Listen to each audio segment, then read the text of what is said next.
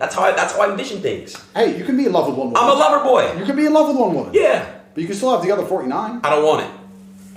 So when your genetic legacy. That's what's the problem with this fucking. When uh, your shut up. When your genetic legacy. All right, motherfucker. What?